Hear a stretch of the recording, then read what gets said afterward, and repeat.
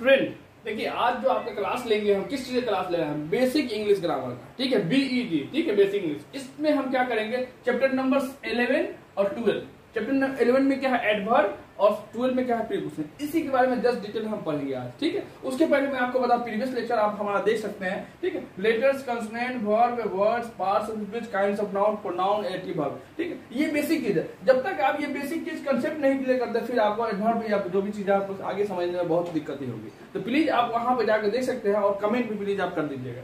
ठीक है? अब देखिए यहाँ पे सी इलेवन में चैप्टर नंबर में क्या पढ़ना है एडवर्ब तो यहाँ पे जस्ट एवन स्मार्ट का ये सीट है, वहाँ पे हम देखते हैं। ठीक है? यहाँ पे जस्ट हम शॉर्टकट में लिखे हुए हैं। अब ये क्या बोल है? क्वालिफाई एडवर्ब क्या होता है? क्वालिफाई ए वर्ब और अनदर एडवर्ब किसको क्वालिफाई करता है? ए वर्ब को क्वालिफाई करेगा और एडजेक्टिव को क्वालिफाई करेगा अनदर एडवर्ब को क्वालिफाई करेगा उसको हम क्या कहेंगे?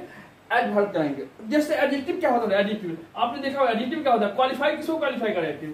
नाउन को करेगा। नाउन को क्वालिफाई करता है या प्रोनाउन करता है? या नाउन प्रोनाउन जो क्वालिफाई करता है उसको एडजेक्टिव उसी तरह यहाँ पे एडवर्ब है, ठीक है? सेम टू सेम है, ठीक है? तो यहाँ पे एडवर्ब क्या है? क्वालिफाई किसको वर्ब को करेगा एडिटिव को करेगा अनदर एडवर्ब को करेगा। लेकिन यहाँ पे जस्ट बच्चों को समझ में नहीं आता, ये डिफरेंस इतना भी डिफरेंस आपको समझ में नहीं आता। है मेन चीज़ है ब्रेन सिस्टम में समझना है किस चीज़ को ब्रेन सिस्टम में रखना। तो आप कैसे समझ में आएगा? तो यहाँ पे जस्ट हम हमेशा बोलते हैं, आप एग्ज़ाम्पल फोकस कीजिए।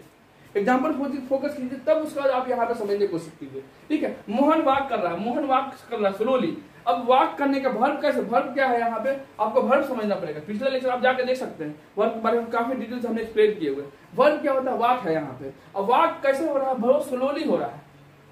ठीक है? या क्वालिफाई कर रहा है। वाक को क्वालिफाई कर रहा है। कैसे हो रहा है? तो स्लोली हो रहा है। यहाँ पे वाक स्लोली क्या हो जाएगा? यहाँ पे एडवर्ब तो यही चीज़ जो पॉइंट हो जाएगा, क्या हो जाएगा? ये एडवर्ब हो जाएगा। आपको समझने कुछ उसी next point it is very red अब देखिए रेट क्या है यहाँ पे एडिक्टिव है? तो आपको एडिक्टिव कंसेप्ट क्लियर होना चाहिए। जब तक आपका एडिक्टिव कंसेप्ट क्लियर नहीं होगा पिक्चर का कंसेप्ट क्लियर नहीं होगा, फिर आपको पढ़ने में यहाँ पे दिक्कत होगा। इसलिए बहुत सारे बच्चों को ये समझ में नहीं आती। ठीक है? तो आप अगर समझ, यहाँ पे दिक्कत हो, आप प्लीज़ एडिक्टिव का एडिक्टिव वर्ब या पिछला लेक्चर आप देख सकते हैं। ग्रामर ठीक है? अब रेड है एडिक्टिव है, यहाँ पे आपको पहचान लेना पड़ेगा। जब एडिक्टिव है तो कैसा है बहुत है? एडिक्टिव को यहाँ पे क्वालिफाई कर रहा है उस यहाँ पे देखिए स्लोली वाक कर रहा है स्लोली वेरी स्लोली यहाँ पे स्लोली क्या है? यहाँ पे ऑलरेडी एडवर्ब है। क्या है? ये एडवर्ब है। ठीक है? अब ये फिर कैसे स्लोली लेकिन वाक कर रहा है, लेकिन स्लोली कर रहा है, लेकिन कैसे बहुत स्लोली कर रहा है। तो यहाँ पे आपको समझने की कोशिश कीजिए। यहाँ पे अगर आप समझ गए, बहुत स्लोली कर रहा है तो ठीक है एडवर्ब को फिर से ये क्वालिफाई कर रहा है। भरी जो है एडवर्ब को क्वालिफाई कर रहा है। तो यहाँ पे वेरी क्या हो जाएगा आपका? एडवर्ब हो जाएगा। तो दो एडवर्ब यानी एक यही पे पॉइंट बोला गया है। एडवर्ब एडवर्ब को जो क्वालिफाई करता है, उसको हम क्या कहते हैं? एडवर्ब कहते हैं। तो यहाँ पे अनोदर एडवर्ब को ये क्वालिफाई कर रहा है वेरी इसलिए क्या हो जाएगा? वेरी क्या हो जाएगा? हमारा एडवर्ब हो जाएगा। इसी तरह स्लोली वेरी जो पॉइंट आप दिखे स्लोली वेरी ये क्या है? एडवर्ब है। उसका next point some other adverb remember always यानी बहुत सारे एडवर्ब आपको दिए रहेगा, उसको याद ही कर लेना है। क्योंकि जब सेंटेंस में आएगा सेंटेंस में किस तरह से क्वेश्चन आती है कि एग्ज़ाम या कंपटीशन में आप बैठते हैं तो वहाँ पे क्वेश्चन पूछेगा आपसे कि वहाँ पे एडजेक्टिव को या एडवर्ब को सर्कल कर देना है। यहाँ पे सुटेबल एडवर्ब आपको पुट अप करना है। तो वहाँ पे यही याद रहेगा तो आप सुटेबल स्लोली हो गया ब्यूटीफुली हो जाएगा हैप्पीली हो जाएगा बैटली हो जाएगा केयरफुली वेरी काइंडली फेस्ट ये सब क्या है? एडवर्ब का एग्ज़ाम्पल है। तो यहाँ पे स्पेलिंग सेंस आपको याद कर लेने कोशिश कीजिए और माइंड में जब संदेश में जब यूज़ कीजिएगा, जितना आप यूज़ कीजिएगा, जितना आप क्वेश्चन उसको उतना आपके लिए बेनिफिट होगा। ओके स्टूडेंट ऑलरेडी आपको ये चैप्टर सारे पॉइंट हम क्लियर कर चुके हैं। एडवर्ब के बारे में क्लियर कर चुके हैं, ठीक है? कैसे एडवर्ब होता है सेंटेंस उसको देखना, फिर उसको डिफरेंशियल आपको देखने की कोशिश करना तो ये सारा पॉइंट आपको क्लियर हो जाना चाहिए। क्लियर नहीं तो प्लीज़ आप कमेंट कीजिए, जो भी चीज़ आप फीडबैक या किसी भी माध्यम से आप, किसी भी टीचर से आप कंसल्ट कर दीजिए, वहाँ समझने की कोशिश कीजिए। ठीक है? एक दो बार और वीडियो आप देख सकते हैं। ठीक है? उसके बाद जो पोजिशन की बारी आती है। ऑलरेडी हम आपको एडवर्ब बढ़ा चुके हैं। प्रीपोजिशन की बारी आती है। प्रीपोजिशन क्या होता है, इसके बारे में हम देखते हैं। इसके पहले क्या थोड़ा सा जस्ट डिफिनेशन लिखते हैं, क्या होता है डिफिनेशन ठीक है? तो वो भी शॉर्ट करके हमने लिखा हुआ है ठीक है? Usually place before a noun preposition क्या होता है? यूजुअली प्लेस होता है। किसकी जगह प्लेस होता है? बिफोर ए नाउन या प्रोनाउन की जगह प्लेस होता है। ठीक है? नाउन या प्रोनाउन जस्ट पहले रहता है।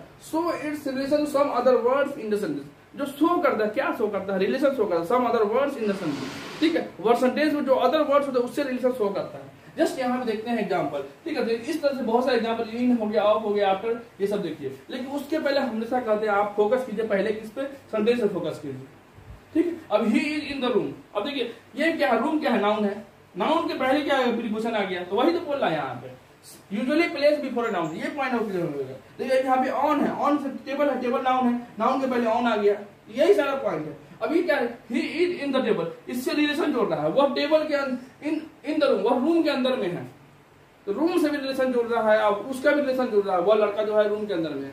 तो इसलिए सो इस relation some other words in the sentence ये भी प्रूफ हो गया। तो यहाँ पे अगर आप समझे, समझने की कोशिश कीजिएगा तो यहाँ पे आप समझ जाइएगा डिफिनेशन इसी तरह से जब सेंटेंस में फोकस कीजिए, फिर नेक्स्ट सेंटेंस आप देखिए। The cat is on the table अब टेबल क्या है? नाउन नाउन के पहले क्या हो गया? ऑन आ गया। ठीक है? अब नाउन के पहले जब ऑन आ गया तो अब कैट कौन है? कैट है।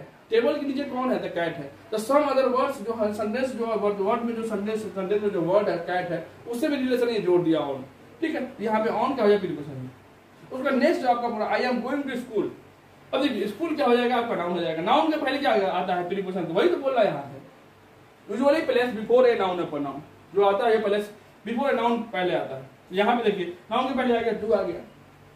क्या आई एम गोइंग टू अब ये लड़का कहाँ जा रहा है? गोइंग टू स्कूल ये जोड़ रहा है तो टू जो आएगा, आपका हो जाएगा।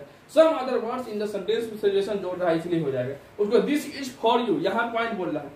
ठीक है? अब यहाँ पे जस्ट नाउन ये ये आ गया। अभी अभी हम क्या दे रहे सब नाउन था नाउन था, ये सब नाउन है लेकिन यहाँ पे जस्ट यू क्या हो जाएगा? प्रोनाउन आएगा नाउन के बदले में क्या कहते हैं? प्रोनाउन कहते हैं। आप अगर पिछला लेक्चर आप देखोगे तो आपको समझ में आया होगा। ठीक है? तो अब जस्ट फॉर आपका आ रहा है तो ये क्या फॉर क्या है आपका? फॉर क्या है आपका? यहाँ प्रीपोजिशन है, ठीक है? अब देखो दिस क्या है? कोई चीज़ होगा दिस इज़ फॉर यू कोई थिंग्स होगा, उसके बारे में बोला दिस इज़ फॉर यू यहाँ पे क्या रिलेशन इससे भी रिलेशन जोड़ रहा है। तो वही तो यहाँ बोल रहा है। Usually place before a so it's relation some other words in the sentence इतना ही डिफिनेशन बहुत सारे किताबें, बहुत सारे लंबे लंबे डिफिनेशन दिए जाते हैं। लेकिन जस्ट आपको कंपटीशन लेवल से आप प्रिपरेशन कर रहे हैं तो वहाँ पे आप फोकस कर सकते हैं। ठीक है? तो बेसिक जितना आप मज़बूत कीजिएगा तो आपको आगे स्टेप लेने में बहुत आसानी होगा। तो प्लीज़ आप बेसिक्स जितना जितना स्ट्रॉन्ग कीजिए। कोरोना पैंडेमिक ऑलरेडी आपका बेसिक पूरा कंसेप्ट बिगड़ चुका है। तो आपको बेसिक स्ट्रॉन्ग कीजिए तो आगे स्टेप आप लेने में बहुत आसानी होगा और कोई भी एम है आपको फुलफिल कर सकते हैं। उसके हम आपको बता देना चाहते हैं नेक्स्ट आपका लेक्चर जो आएगा कंडक्शन और इंटरजेक्शन पे आएगा। ठीक? ये सारा पॉइंट अगर आप क्लियर कर लेते हैं तो आपको ये पॉइंट समझ में, इसके बाद आपको पार्ट हो जाएगा। ठीक है? Okay thank you